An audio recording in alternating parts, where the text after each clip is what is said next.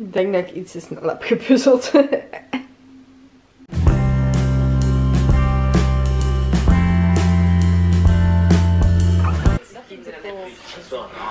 Maar die, dat is gewoon omdat hij zoiets heeft van, ah ja, het is toch vanaf drie uur. Maar dat dan, ik heb dan wel bijvoorbeeld over een brunch het weekend bij iemand thuis. Ja, maar Zo, dat, dan zou ik dat wel eens laten weten. Dan, ik kom dan Oké, we moeten er om vier uur zijn. Het is twee uur. Shit. beginnen klaarmaken. Echt, hè? Oh man, ja, dat denk ik vaak. Als je kinderen hebt, moet je Ja. eigenlijk toch drie kwartier voor je eigenlijk zou vertrekken al beginnen inpakken en zo. Dat lukt nooit. Nee, ja. Toch? Ik heb een beetje komen. Nee, voilà. Goedemorgen, welkom bij een nieuwe video. Vandaag is het woensdag en ik heb eh, net ontbeten, dus we gaan direct aan de slag gaan. Want ik heb een hele hoop dingen die ik wil doen vandaag. Eh, hallo, het is nu kwart na tien. Ehm, en ik heb mijn artikel over eh, iets geschreven voor het magazine die binnenkort uitkomt op 12 april. Eh, voor het eerst zal het een betalen editie worden, maar hij wordt ook zoveel mooier dan de vorige edities. Eh, en, maar binnenkort vertel ik hier heel veel meer over. Als deze vlog tenminste nog niet online staat op 12 april. Dat kan ook natuurlijk. Ik ben trouwens bezig met een Oslo City Guide voor mijn magazine. Dat kan ik jullie wel al verklappen. Eh, en voor ik het vergeet, dit is de laatste wollige wintervlog voor dit jaar. Want daarna eh, is het tijd voor mijn leuke lentevlogs. Of mijn, eh, maar ik ga even nog moeten denken wat dit naam was. Ah, ik ben het vergeten. Hoe kan ik hem vergeten? Leuke lentevlogs. Vanaf morgen zijn het leuke lentevlogs. En eh, daarvoor ga ik vandaag ook een Q&A, eh, een intro filmen. eh, aangezien dat ik dan nog genoeg tijd heb om die te bewerken tegen dat die video's online komen. Maar het is wel mijn bedoeling om zo snel mogelijk die achterstand in te werken. Want dat is nu al een beetje raar dat jullie pas midden de lente leuke lentevlogs gaan te zien krijgen.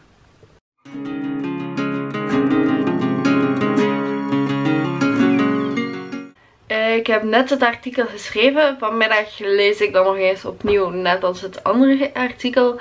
En ehm, nu ga ik eh, iets doen, maar ik weet nog niet wat. Oftewel ga ik naar beneden om te puzzelen, oftewel verzend ik nog een paar mails.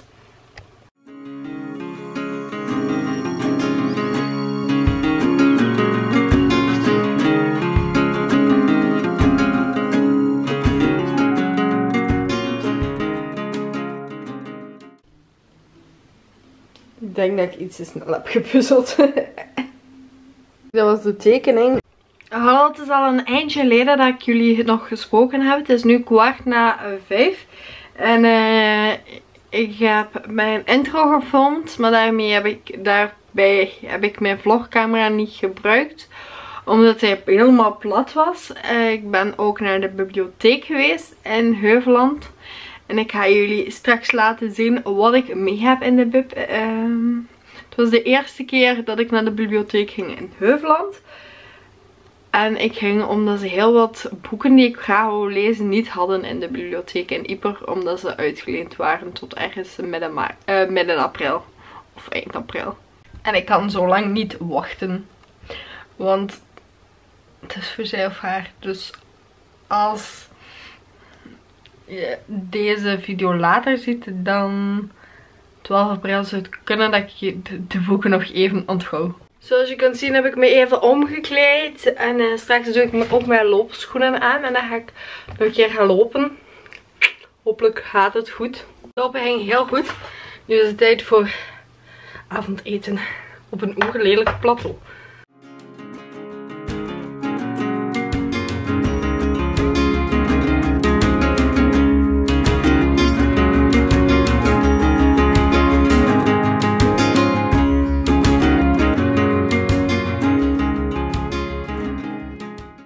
Het is iets na negen en ik ga naar beneden om thuis te gaan kijken. Want er gaat geen dag voorbij. Bijna geen dag voorbij zonder dat ik thuis heb gezien. Oh ja, misschien wel leuk voor een polletje. Als je in België woont, wat kijk je liefst? Eh, thuis, familie of geen? Hallo, het is even tijd om jullie te laten zien wat ik mee heb van de bib in deze bag. Ik ga even hebben op een stoel zetten, want mijn aanspieren zijn gewoon kapot. Ik nam het boek Homemade Beauty mee van uh, Zoe van Kwikkelbergen. Ik heb haar uh, ook geïnterviewd voor, uh, voor, voor de vorige editie van Blogger. Dus het was eindelijk tijd om haar boek eens te bekijken en te lenen en te zien of ik hem wil kopen. Ik vind het trouwens super leuk dat ze dat boek hadden in de bib. Ook heb ik eindelijk het boek eh, Schelpadden tot in het oneindige geleend van John Green. John Green is een van mijn favoriete jeugdschrijvers. Ik heb alle boeken van hem gelezen behalve dit boek. Omdat het steeds, maar dan ook steeds uitgeleend was. Maar vandaag, in deze bib, niet.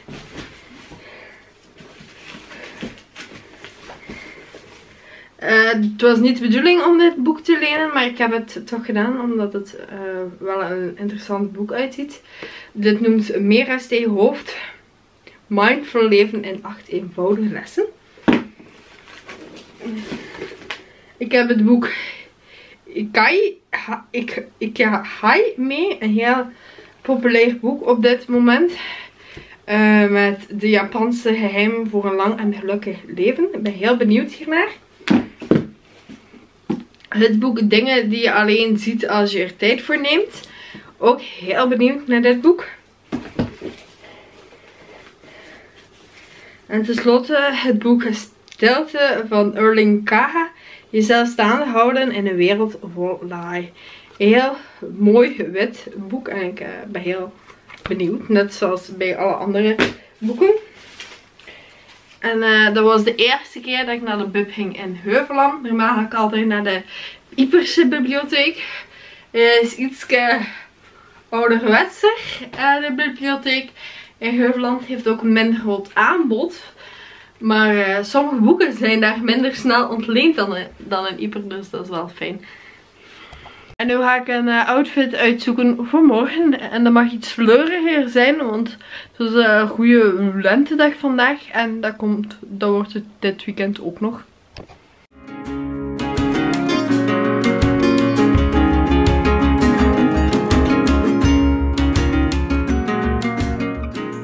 Ik ga morgenochtend naar de bib. Dus dan check ik meteen ook of dat mijn outfit niet te koud is voor dit weer. Of dat ik het weer nu een klein beetje overschat. En dan kan ik hem eventueel nog een klein beetje aanpassen. Ook uh, ga ik twee verschillende funky socks dragen. Want het is morgen wereldsyndroom down dag.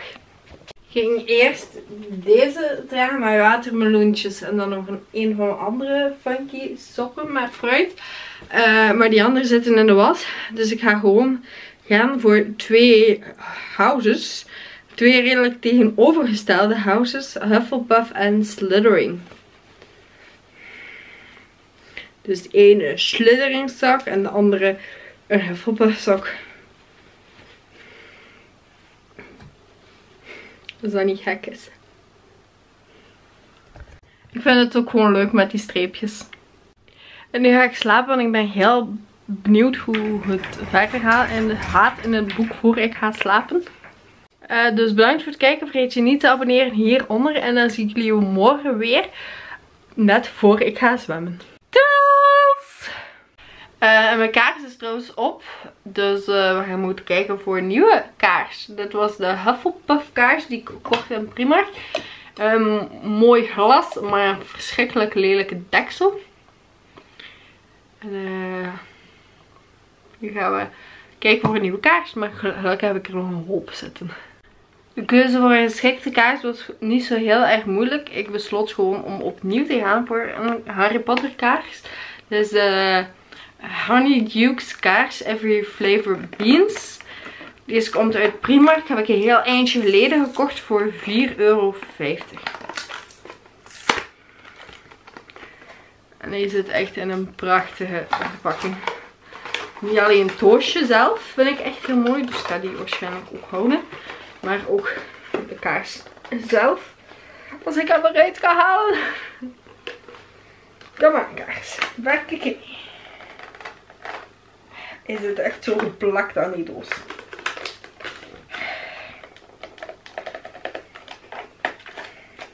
Ik ben eigenlijk ook een beetje bang dat mijn kaars ga, dat ik mijn doos ga scheuren. Ah, waarom maken ze het zo moeilijk af? fuck. Ja, mijn doos is een beetje gescheurd. Eh, dit is zo stom.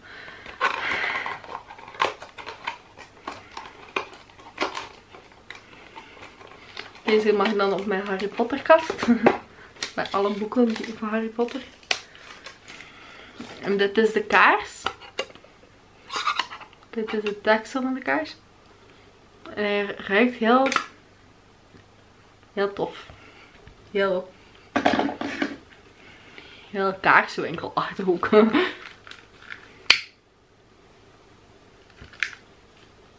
Ik weet eigenlijk niet precies welke geur.